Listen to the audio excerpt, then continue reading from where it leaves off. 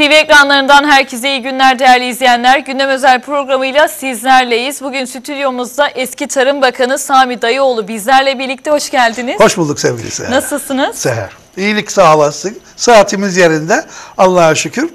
Ee, onun dışında pek tabii memleket biliyorsun. Sizler basın mensupları olarak daha yakın takiptesiniz. Biz ikinci yıl konumda takipteyiz e, gündemi. Bu nedenden dolayı e, memleketin durumu e, malum. Biz sağlığımıza bakıyoruz şimdilik. E, sağ olasınız. E, hem e, Kıbrıs Medya e, grubu olarak hem sizler olarak bizi unutmuyorsunuz. Ekranlara çağırıyorsunuz. Biz de gereken birilerinin duymasını istediğimiz ve e, düzeltmesini istediğimiz şeyleri e, yapıyoruz. E, yaptığımız bu şimdilik. E, dilerseniz binlerce insanın aslında merakla beklediği evet. asgari ücretle başlayalım. Kasım evet. ayının sonuna doğru ilerliyoruz. E, artık evet. asgari ücret tartışmaları konuş, konuşulmaya başlandı asgari ücret. %48,5 rakamı telaffuz ediliyor ama Metin Arhun'un bununla ilgili açıklamaları var. İşletmelerin böyle olursa işletmelerin kapatılacağı yönünde bir açıklaması var. Ee, siz bunlarla ilgili ne düşünüyorsunuz? Çünkü arada kalan bir işçi var. E, tabii ki e, asgari ücretli şimdi şu anda geçim sıkıntısı e, yaşamaktadır. Bunu e, herhalde Metin e, Metin Bey e, iyi yakından takip etmektedir. Ha, e, bunu söyledikten sonra tabii ki Metin Bey'in bir e, daha e, herhalde kaçırttığı bir nokta vardır. Zaten ekmekle başladık. Ekmeğe 12. Elektrikle başladık aslında. E, evet elektrikle başladık doğru. E, %15 civarında hı hı. bir e, artış oldu elektrikte. Ondan sonra ekmek. Bunun ardından gaz ve e, şey e, petrol e, gelecek. Akaryakıtı akaryakıt evet. gelecek. E, akar, zaten bunlara geldiği takdirde her şeye gelir. Şimdi ben sorarım e, Sayın Metin Arhun'a. Yani bunlar bu daha e, asgari ücretlinin cebine para girmeden şimdiden çıkmaktadır. Kasım ayında başladık zaman. Hı hı. Aralık vardır. E, asgari ücretin belirlenmesi hangi aydadır? Ocak ayındadır. Şubat'ta alınıyor. Ocak, Şubat'ta e, alınacak. 3 ay cepten ödediğinde asgari ücretli nereden bulup da ödeyecek? Bu zam furyasının içerisinde bunun da bir çözüm yolu olması gerekir. Hiç merak etmesinler. Öyle kilit vurma o kadar da kolay değildir işletmelere. Ha eğer hakikaten ciddiyseler vursunlar bakalım kilidi. Ne olacak? Yani e, bu yapamayacakları bir şey sadece bir blöf olarak e, ben görüyorum bunu. Bu nedenden dolayı e, sendikalar dirayetli durması gerekir. Hükümet kendi insanının yani asgari ücretlinin e, bundan sonraki yaşam tarzını da yani alım gücü yaşam tarzı dediğimde şunu kastediyorum alım gücünü e, koruyabilmesi gerekir. Zaten bunun zaman süresi de önümüzdeki yıl yanlışım yoksa her dört ayda bir e, hayat pahalılığı gözden geçirileceği hı hı. vurgulanmıştı. İnşallah buna e, sadık kalırız. Hatta bunun daha doğrusu üç ayda bir yapılmasıdır ki yılda dört kez en azından alım gücünü hem e, emeklinin hem asgari ücretlinin hem memurun e, koruyabilmesi için. Aksi takdirde bu e, gidişat doğru bir gidişat değildir. Bu nedenden dolayı ben e, Sayın Metin Arhun'a katılmıyorum. Kesinlikle e, o nedenden dolayı hiçbir işletme daha kapatılacağını da sanmıyorum. O nedenden dolayı e, gerek e, bir daha tekrarlayayım altını çizerek gerek sendikalar gerekse hükümet asgari ücretliye dikkat etmesi gerekir diye e, düşünüyorum.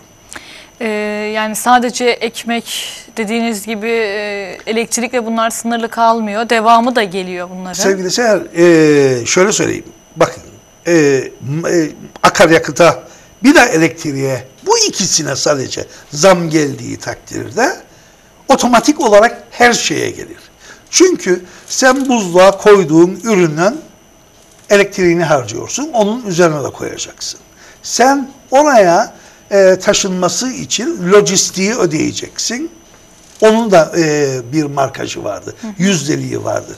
Yani bir e, artış yaptığında otomatik olarak tüm ürünlerde bu üretilen ürünlerde yani kendi ülkemiz içerisindeki ürünlerde de vardır. İthallerde de vardır. Ha ithallerde çifte vardır. Niçin çifte vardır? Çünkü döviz bazında ithal edildiğinden dolayı Türkiye'den bile dolar bazında geliyor ya ülkemize şey bazı ürünler. Yani bunu Türkiye'de üretilen Türkiye e, markalı olan ürünler dolar bazında satılıyor e, Kıbrıs'a. Hani bizim ana vatan yavru vatan ilişkileri? Yani bunlar da ticari anlamda tabii ki bunu e, iki e, devletin ticaret odaları gündeme getirmesi gerekir.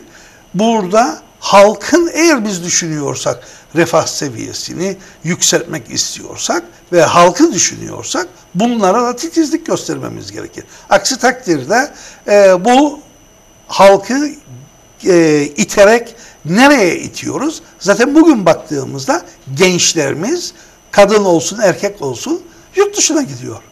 Yani e, nüfus e, oranı olarak biz e, dördüncü sıralardayız.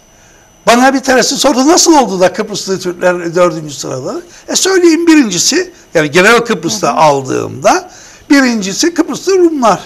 İkincisi Türkiye'den gelen e, buraya e, yer, yerleşen e, insanlar. Üçüncüsü ise maşallah Ruslar hem güneyde hem kuzeyde e, sayıları artmaktadır. Dördüncüsü de Kıbrıslı Türkler.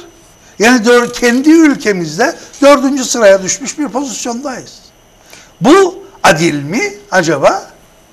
Bu da adil değil bana göre. Bunun da düzeltilmesi gerekmektedir. Ha tabii ki neden e, millet kaçıyor buradan Kıbrıslı Türkler?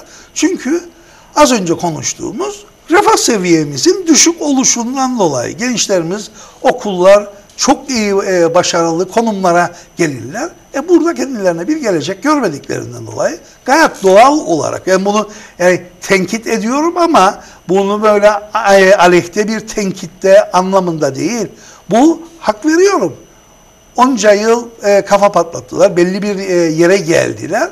Kendilerini de değerli hissetmek istiyorlar. Bir karşılığını almak Tabii istiyorlar. Tabii ki başka ülkelere gidip de orada değer alıyorlarsa öyle oluyor. Kaçıyorlar bu ülkeden. E bu bir bir daha ki ha bizler belli bir yaşa gelmiş insanlarız. Bundan sonra bizim zaten katsak da bize alacak olan yoktur. Bu nedenle dolayı burada kalmakla mükellefiz ve mecburuz. Yani bu bağlamda e, buna devlet artık ciddi bir şekilde e, şey etmesi, eğilmesi gerekir ve bu asgari ücret e, konusunu daha ciddi bir şekilde değerlendirmesi şarttır. Tabii ki buna ön ayak olacak olan sendikalarımızdır. Yani biz ne kadar burada e, söylesek, hı hı. evet asgari ücretliyi biz e, destekliyoruz. Zaten benim e, ben e, sol e, sosyal demokrat olan bir e, kişiyim. Bu nedenden dolayı da çalışanın da e, yerini, mevkisini almasını isterim. Aslında e, belki de buradaki en önemli nokta ev sahibi olmak. Yani gençleri belki de bir nebze olsun e, bu daha çok bağlayabilir buraya. Bağını koparmayabilir bu sayede. Şimdi çeşitli e, sosyal konut projeleri olsun, kredi, e, hükümet bunları hayata geçirmeye çalışıyor bir taraftan ama e, yine de e, evlerle ilgili ciddi de sıkıntı var gibi gözüküyor. Çünkü e, yanı başımızda bir savaş var ve e, bu durumdan dolayı döviz de yükseliyor yavaş yavaş. E, dövizin yükselmesiyle ev fiyat kiralar şu anda sterline bağlı aslında burada. Genel olarak sterlin üzerinden 6 aylık peşinatlar vesaire gibi peşinatlar e, veriliyor. Asgari ücretli alan birinden söz ediyoruz ve e, o kirayı ödemekte dediğiniz gibi zorlanabiliyor. Ne ödeyeceğini de bilmiyor işin ilginç tarafı. Yani her ay farklı bir rakamla karşılaşabiliyor. E, düşmesi bekleniyor ama e, şu an gözüken yükselişte hala Şimdi da. Şimdi şöyle izah edeyim e, sevgili Seher. Ev sahipleri neden dövizle kiralar? Dövizle kiralama, e, kiralamalarının yegane sebebi alım güçlerini stabil e, evet. kılmak amacıyla. Yoksa başka bir şey değildir. Hı hı. Çünkü teleyle yaptığınızda mesela az önce söyledin sen bazıları 6 aylık yapmaya başladı. Evet. E bu gittik sonra paranın eğer değer kaybı ki bugün e, Merkez Türkiye Merkez Bankası'nın yapacağı açıklama vardır. E, yaptı da açıklamayı. Ben yarın fiyatların ne olacağını, döviz fiyatlarının çünkü stabil tuttu faizi. Hı hı. e, yarın döviz fiyatlarının neye varacağını, nereye yükseleceğini tahmin edemem. Şimdi Bir şu anda kredi çekip aslında artık ev sahibi de olamıyoruz. Çünkü kredi faiz oranları da yükseldi. iki asgari ücretli eğer e, aldıkları maaşı kümülatif olarak toplasalar yine ev sahibi olamazlar. Bu kadar açık ve net. Çünkü bizim ülkemizde ev fiyatları uçmuştur. Ama sadece bu kendi ülkemiz Kıbrıs için değil. Bugün İstanbul'a bak, Türkiye'ye bak. Türkiye'de de ev fiyatları e, uçuk rakamlara gelmiştir. Bu nedenden dolayı yani oradaki e, amaç şudur. E, ev e, fiyatları, ev kiraları eğer düşük tutulduğu takdirde bu defa o ev sahibi geçilemeyecek pozisyona Evet. girecektir. Bu sebepten dolayı bunların da ciddi bir şekilde e, şey edilmesi gerekir. Ha bunun önlemi nasıl alınabilir? Bana e, göre stabil bir para birimine geçilir ve bu stabil para e, biriminde e, ödemeler o şekilde olur ki alım gücü gerek asgari ücretlinin olsun, gerekse emeklinin olsun, gerekse e, memurun olsun alım gücü e, aynı seviyede devam etsin. Çünkü aksi takdirde asgari ücreti siz yüzde 48 dahi yüzde 50 dahi artırsanız yani e, bugün 30 bin lira yapsanız asgari ücreti anında gelecek olan zamlardan alım gücü yine geçmiş yılın alım gücünden ya eşittir belli bir e, süre yahut da altında olacaktır. Şimdi ben sana sorarım. Bugün e, geçen yıl e, veya geçen defa alınan asgari ücretiyle alım gücü olarak eğer dövize endekslersen altında mı üstünde mi? Altındadır. Açık ve net. İşte budur esas önemli olan hükümetlerin burada yapması gereken bu e, şeyi stabil kılmasıdır. Ha bunu nasıl yapar? Ben ekonomist değilim. Bu nedenden dolayı nasıl yapacağını da e, tam olarak bilmem ama e, neticede e, bunu yapma gerek e, maliyenin gerekse e, hükümetin e, görevi olarak tanımlarım. e, faizini yüzde 40'a çıkardı diye Merkez Bankası aslında bana bir bilgi geldi. Stabil tuttu demiştiniz. E, stabil tut. E, ben e, öyle gördüm. Bana gelen mesajda az önce. E, Politika faizini yüzde 40'a çıkardı e, zaten diye. e, önemli olan e, yani oradaki o şey değildir. Esas reel faizleri nereye çıkarttığını da önemli olan. Olur sıkıntı. E, konuşmanızda e, yabancı nüfustan da bahsettiniz. Özellikle İskele bölgesinde. Aslında biz hep İskele için konuşuyoruz ama e, diğer bölgelerde de galiba aynı durum söz konusuymuş. Çünkü Tatlısu Belediye Başkanı ağırladığımda Tatlısu için de aynı durumun söz konusu olduğunu söylemişti.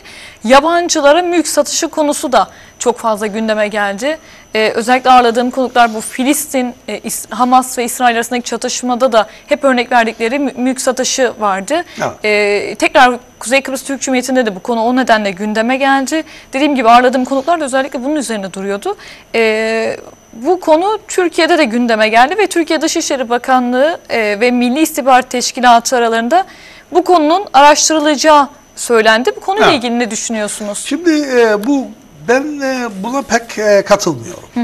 Eğer Seher'in bir arsası, bir arazisi, bir evi, mülkiyeti varsa onun muhtesindedir. Eğer e, standart veyahut da piyasa değerlerinin üzerinde bir e, fiyat uygulaması yapılıyorsa kendisine tamam mı? Kimsesi durduramaz bunu. Gerek yabancı olsun, gerekse yerli olsun. Nerede kaldı ki? Bizim ülkemizde vatandaşlıklar da gırla dağıtılıyor. Yani onu, da e, söyleyelim. Ha, şimdi sen vatandaşlık verdiğin bir kişiyi, yabancı bir kişiyi nasıl şey edeceksin? Durduracaksın. Durduramazsın. Bu açık ve net. Ha nerede kaldı ki? Varsayalım ki yabancı statüsündedir. Bunun yöntemleri vardır. Bir sürü e, genelleme yapmıyorum. Ama buna meyilli bazı avukatlar, insanlar, kişiler vardır. Bunlara borç seneti hazırlıyorlar. O borç senetine e, imzayı çakarsın.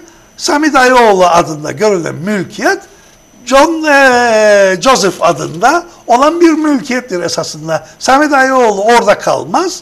e, John Joseph e, kalır orada. Yani bunun da yöntemleri yok değildir, vardır.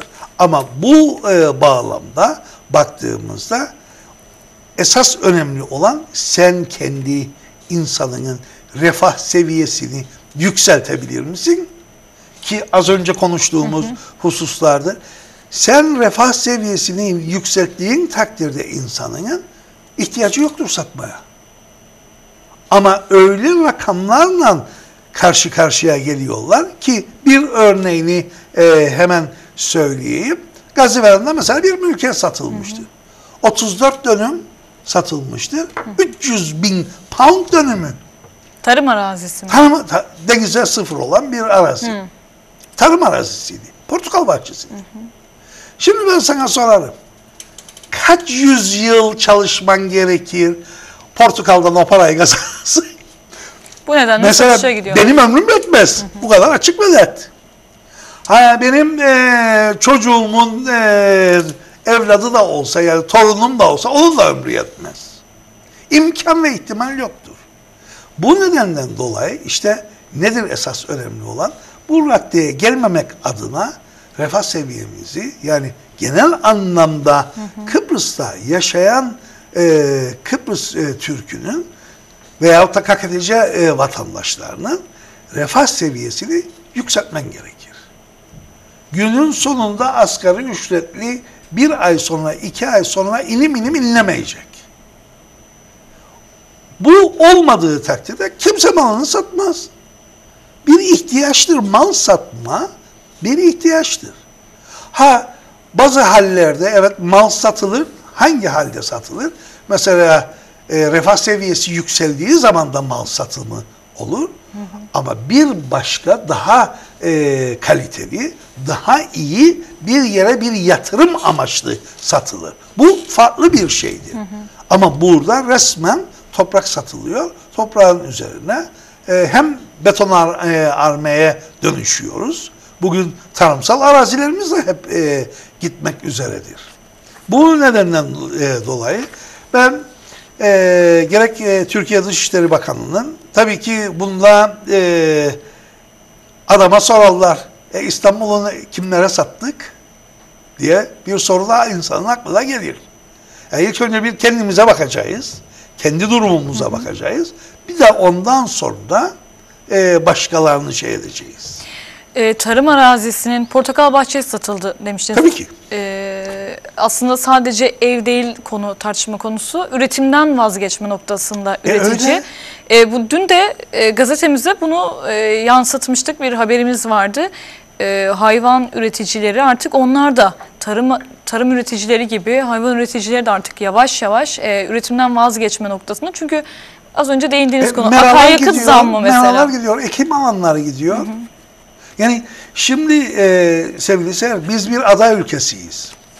Bugün bir kıta ülkesi olmuş olsak, bir Türkiye gibi olmuş olsak, milyonlarla dönüm arazimiz olmuş olsak, hadi ya işte bunun 300'ünü, 500'ünü, 5000'ini, 10 binini satalım bir şey değil derim.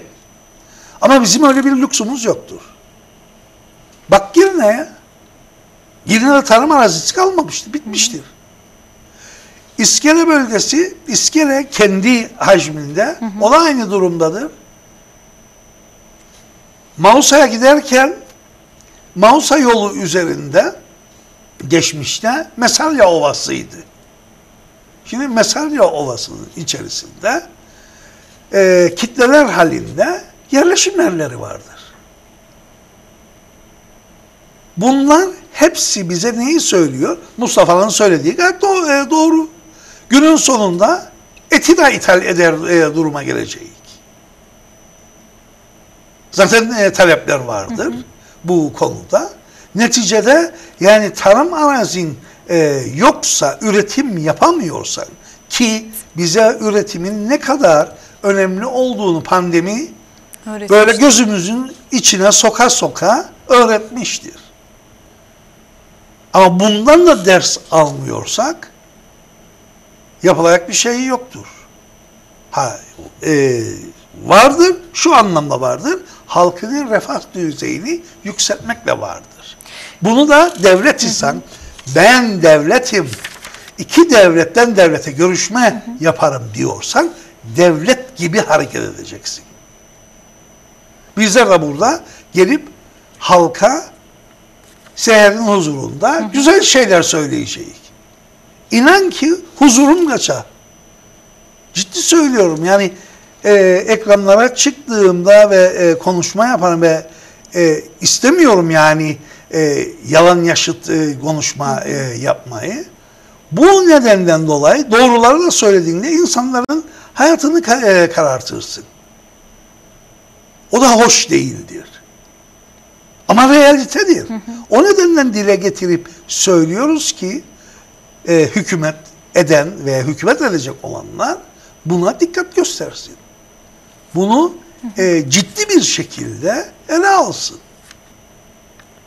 Ama e, gördüğümüz kadarıyla pek öyle de olmuyor. Olmuyor. Ha bazı hareketler e, vardır. E, düzeltilmesi gerekir. E, gönül arzu eder ki her şeyde düzeltilsin. Yani e, bugün e, gerek e, e, eczacılar e, konusu olsun, doktorlar konusu olsun, bunun gibi diğer şeyler de olsun. Diğer yerlere de bakılsın. Elektrik kurumuna da bakılsın. Başka yerlere de bakılsın. Her şeye bakılsın. Çünkü bizim istediğimiz, bizim talep ettiğimiz, zaten biz belli bir yaşa gelmiş e, insanlarız.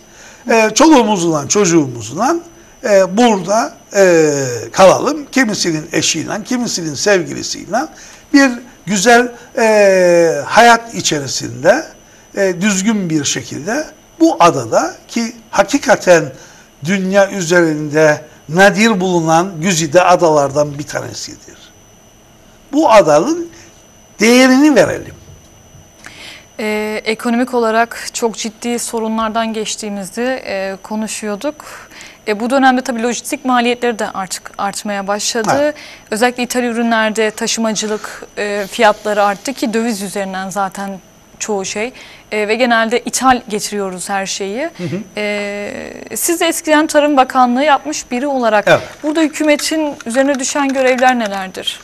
E, tabii ki e, bunun e, başlıca en önemli unsurlardan bir tanesi. E, şimdi e, bu veriler tam olarak elimde yoktur ama geçmiş e, dönemlerdeki verilere istinaden düşündüğümde mesela bir örnek vereyim. E, İngiltere'den bir ürün veyahut da e, İskandinav ülkelerinden bir ürün, Fransa'dan, Almanya'dan bir ürün getireceksiniz.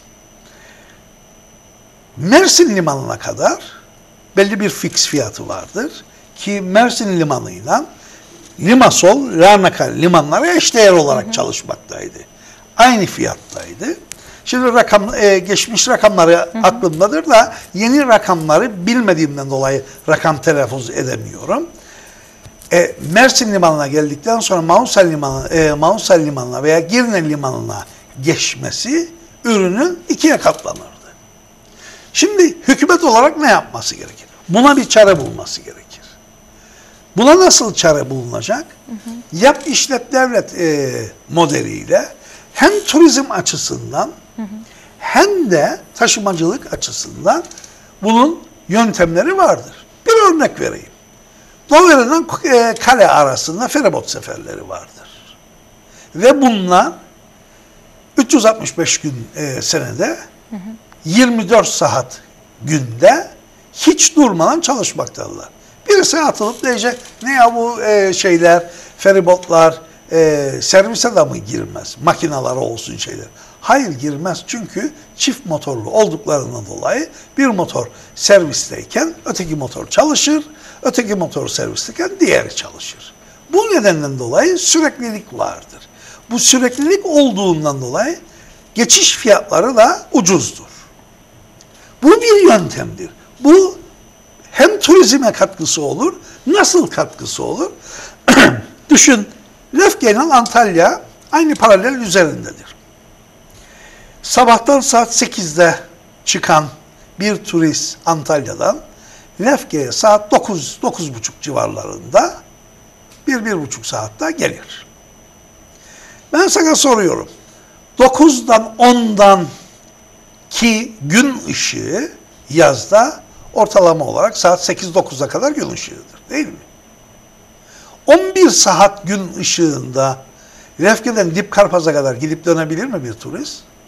Gayet doğal olarak.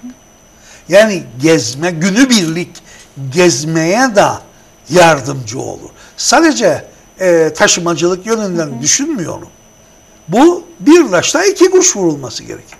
İşte devletin yapması gereken yap işte devlet. Dünyada yüzlerce firma vardır. Gelip de para yatırımı yapabilecek. Bunları bul. Evet tanınmıyoruz. Herkes tanınıp tanınmama konusunda değillerdir sevgili seyir. Herkes kendi menfaatine ve çıkarına bakar. Yani yeri geldi mi e, çoğu ülkeden tanınmıyoruz ama üniversite öğrencisi adaya gelebiliyor. Ge on, onları da geçtim ben. Hı hı. Onları da geçtim. Birileri çıkıp da der ki işte Afrika'nın bir ülkesinden çıktı geldi. Başka e, gideceği yer yoktu. Burasını kullanıyor. Buraya geldi. Onlardan da vazgeçtim. Ama bir turist kendi çıkar ve menfaatına bakar. Cebindeki parasına bakar. Antalya'ya geldiğinde ucuza ben Kıbrıs'a da geçiş yapabilir miyim? Günübirlik. Bu ne karardır? Bir ürünü sattığında veya satacağında, ürettiğinde üç, üç dört unsur vardır. Bir tanesi kalitesi. İki sürekliliği. Tabii ki en önemlisi fiyatı. Tamam mı? Bu üç e, unsura dikkat eder. Bu üç e, unsur yerinde olduğu takdirde Hı. isterse Timbuktu'da çıksın ürün. Umurunda bile değil kimsesinin. Çatır çatır alırlar. Geçmiş yıllarda 1900 e, şöyle söyleyeyim e, hemen 1974'ten e, e, sonra e, mesela Yeşilırmak'tan Yeşilırmak Kooperatifi hı hı. İngiltere'ye günlük e, zebze e, yollardı. Günübirlik. Kıbrıs Türk Hava Yolları vardı ve sabahtan saat e, işte 5'te 6'da attım yani e, saati. Uçağa binerdi ürün. Sabahtan saat 9'da İngiltere saati. 9'da İngiltere piyasasına inerdi. Yani bunlar yapılmayacak şeyler değildir. Yapılabilir ama bunları yapacak bir kadronun olması gerekir. Olmuyor. Yapamıyoruz. Bu kadar basit. Yani bunları eğer e, yapabilsek ülkemiz hakikaten her, her şeyin merkezindedir. Ve bu e, ekonomik üstünlüğümüzü veya coğrafi pozisyonumuzu maalesef kullanmıyoruz. Kullanmıyoruz. Doğru dürüst bir şekilde. Bir örnek vereyim. Mesela Mandora veya King denilen ürün. Hı hı. En erken bizde olur. Şimdi şu andaki koşullarda başka alternatifi yoktu. Türkiye'de olmaz. Ee, Mısır'da, e, Fas'ta, e, İspanya'da olmaz. Olur, yani benzeri olur hı hı. ama bu kadar tez olmaz. Sen piyasaya girebilecek bir şeysin. Ne için? İklimsel şartlarımızdan dolayı. Bunu da değerlendiremiyoruz. Ortalama olarak 50-55 bin ton e, ürün vardır şimdi e, bu yıl. Bir tane tüccar yoktur. Gelen. Ha bu neden? Devlet buna el atması gerekir. Senin halkının ürünüdür bu. Senin hı hı. E, çiftçinin alın teridir bu. Geçen yıl tüccarlar buradaydı. Neden? Bunu araştırman gerekir. Senin muhtelif yerlerde elçiliklerin vardır veya temsilciliklerin vardır. Nasıl istersen telaffuz et. Onu e, şey etmiyorum ben. Araştır bunu. Oraya giden temsilcilerin neden şey etmez? Mesela bu söylediğim ürünün başlıca e, alıcı, alıcısı Rusya'dır. Bir öğren bakalım niçin Rusya e, böyle bir şey talep etmiyor ya da böyle bir talep vardır da senin tüccarında mı bir sıkıntı vardır? Bunları bir öğren. Devlet sen bunları yapman gerekir. Tarım Bakanıysan, e, Ticaret e, Bakanıysan bunlara bakacaksın işte. Bunlardır bir ülkeyi yeşertecek, bir ülkeyi e, daha ileriye götürecek halkının refah seviyesini yükseltecek. E biz Türkiye versin parayı bize dağıtalım bunda. Olmaz böyle bir şey. Olmaz. Bunlara dikkat göstermemiz gerekir diye düşünüyorum. Ee, enerji, akaryakıt, ham madde, e, bunlar dövizin yükselişi bunlar çoğu sektörün aslında, aslında ortak e, sorunu. Bu kadar sorunun içinde Narenciye şu an e, ne durumda, üretim ne durumda? Narinciye e, bu yıl tabii ki e, rekolte olarak e, o kadar e, yüksek bir rekoltede olmayacağı tahminindeyim.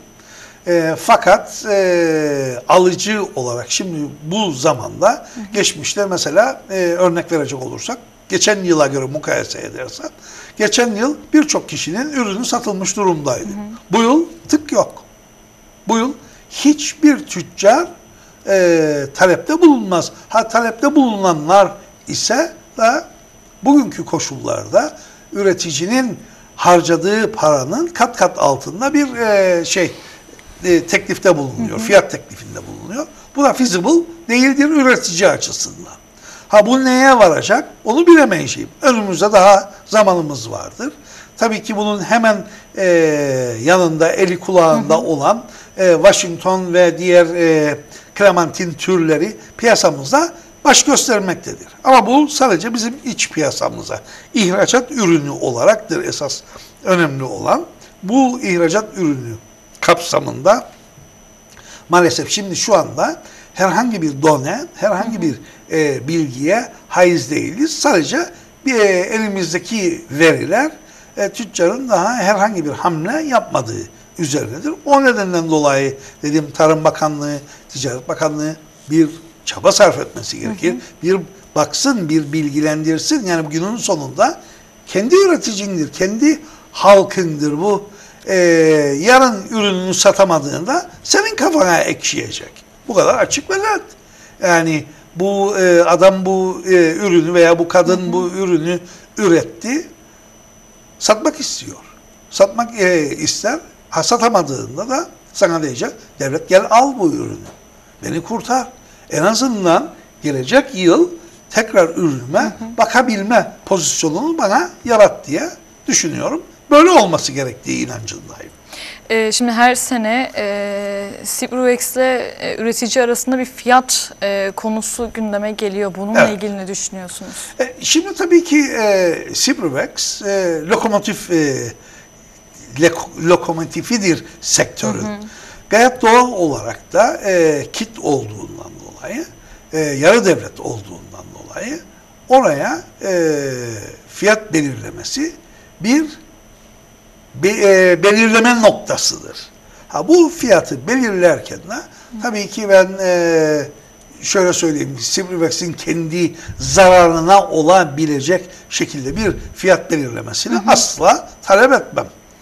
Ama en azından üreticiyi de düşünülerek e, piyasa değerinde e, bir e, fiyat belirlemesi yapmasını da beklerim. Yani e, sen bir fiyat telaffuz ederken ederken bu fiyatı e, tüccara da yansıması. Çünkü tüccar dönüp sana ne diyecek? Eğer iki dediğin takdirde tüccar dönüp diyecek iki buçuk. Yani bir tık üzerine çıkacak. Ha, bu rakamın e, önem e, arz eder. Ona göre düşünülmesi, hesaplanması e, gerekir. Zaten e, bugün ben e, baktığımda e, bilhassa e, Siprex e, müdürü tarafından e, deneyimli bir kişidir. Piyasayı bilen bir kişidir. Bu nedenden dolayı tabii ki yönetim kurulu değişmiştir. E, tam olarak e, yönetim kurulundaki e, arkadaşlar tümünü tanımıyorum. Ama deneyimli insanlar e, vardır orada da. Bunları e, ben söyleyecek değilim. Bunları kendileri bilmesi gerekir. Ve bunları göz önünde bulundurmaları gerekir. Yani nerede kaldı ki geçmiş yıllarda e, sevgili Cemal'la, Sibrivex'in müdürüyle biz defaatle fuarlara gitmiş e, insanız. Orada e, ürünlerimizi teşhir e, etmiş e, kişileriz. Yani neyin nasıl yapılacağını e, herkes bilmektedir. Ama bunu doğru bir şekilde yapıldığı takdirde günün sonunda üreticiye yansır bu. Hem ülke kazanır e, döviz anlamında hem de üretici kazanır. Bu bunu da hiçbir zaman unutmamamız gerektiğine inanıyorum. Süremizin sonuna doğru geliyoruz. Ee, Evet. Dilerseniz bütçeyi de değerlendirelim. Tabii Genel ki. bir değerlendirme. Özelde de dediğim gibi eski Tarım Bakanısınız. Ee, Tarım ve Doğal Kaynaklar e, Bakanlığı'nın bütçesiyle ilgili neler düşünüyorsunuz? Şimdi e, şöyle söyleyeyim. Tabii ki e, bütçe e, dokümanları biliyorsunuz. E, sadece e, gerek partilere verilir. E, gerekse e, işte bakanlık içerisindeki kişiler bunu e, ortaya koyar. E, net bir şekilde benim elimde bu bütçe yoktur. Ama e, bundan ben geçmişe istinaden bir değerlendirme yaptığımda esas elzem olan yerlere bu bütçenin daha iyi bir şekilde verilmesi, değerlendirilmesi şarttır. Bunların nelerdir diye, diye e, söyleyecek olursak tabii ki içinde bulunduğu tarımdan birinci sıraya korum ki e, o öyle değildir. Yani tarım birinci sırada değil. Sağlık, eğitim bunlardır öncelikli. Ben bunlara baktığımda bu iki sektöre bütçe ayrımında yüzde kaç, bütçenin yüzde kaçı ayrılıyor? Maalesef e, aldığımız bilgiler çerçevesinde üzülüyoruz. Yani bunlara önem gösterilmesi gerekirken bunlar e, daha az yüzdelikler oranı altında görünüyor. Bir de e, başka taraflara bütçenin yani e, yüksek e, miktarları yüzdelik oranı olarak yüksek miktarları başka yerlere dağıtılıyor. Bu doğru değildir. Burada e, doğru olan bizim acil olarak ihtiyaçlı olduğumuz en önemlisi sağlık. İkincisi hocalarımız, öğretmenlerimiz bizleri bu e, pozisyona getiren e, hocalarımızın e, söyledikleri ne vardır? Okullarımızın artık maalesef e, bazı yerlerde çok kötü durumda olduğunu, bunun değişmesinin, bunun e, daha iyi bir koşula sokulmasını talep ediyorlar ve söylüyorlar. Buna yönelik e, bir bütçe e, yapılması gerekir. Her zaman için söylediğim, bütçe yapılırken e, Maliye Bakanı'nın iki dudağı arasında olmayacak bir bütçe. Sen bu bütçeyi yaptığında bu bütçe ayrımını e, ilgili bakanlıklara verip onların maliyesi bu bütçeyi e, kontrol etmesi gerekir. Bir örnek vereyim. Benim bakanlığım dönemimde küçük başı ödeyecektim. Vallahi çalmadığım kapı kalmadı. Bir hafta boyunca sürüm sürüm süründüm. Neden süründüm? Biz bürokrasiyi, bürokrasinin dışından gelen insanlar olduğumuzdan dolayı bürokrasiyi tam olarak bilmiyordum. Bir memur seni aylarla süründürebilir. Bu doğru bir şey değildir. Ha, niçin süründürür? Gidersin bir yerden okey'e alırsın. Atıyorum eee, e, dış kaynaklıysa, dış kaynaklıysa ilgili mercilerden okey'e alıyorsun. Onu e, onaylattıktan sonra kendi başbakanlığına gidersin. Başbakanlıktan onay aldıktan sonra bu defa e, sırasıyla maliyeye gidersin. Maliyeye gittiğinde tökezleyebilir. Yok memur içeride değil, yok hastadır, yok karnı ağrır, e, işe gelmedi, bilmem ne oldu. Seni bir ay boyunca istediği gibi hareket ettirir. Ha tabii ki ne zaman ki dank dedi kafamıza ve öğrendik e, bir bakanın o memuru getirdebilme salahiyeti olduğuna dair o zaman e, işi e, çözdük. Ama zoraki çözdük. Günün sonunda amacımız neydi? Küçük başı ödemek.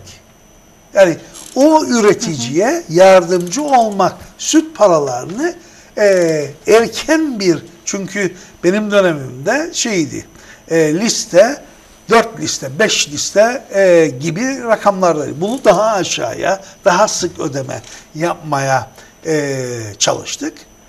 Ama bunlar hepsi tabii ki kaynak nereden çıkar? Maliyeden çıkar.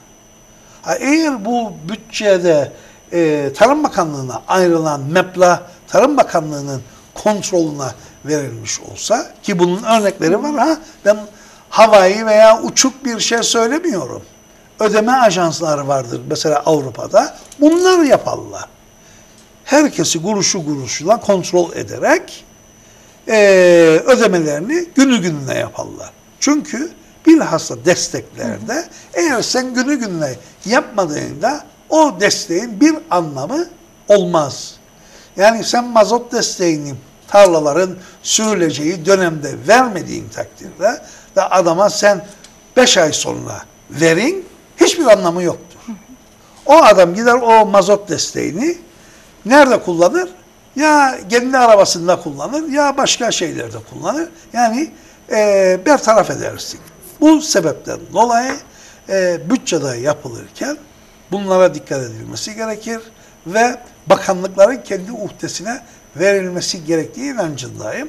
E, Maliye Bakanlığı'nın iki dudağının arasında olmaması gerekir diye düşünürüm. Peki katıldığınız için teşekkür ederiz. Seher beni davet ettiğinden dolayı sana çok teşekkür ederim. Yeniden görüşmek üzere. Görüşmek Sağ üzere. olasın.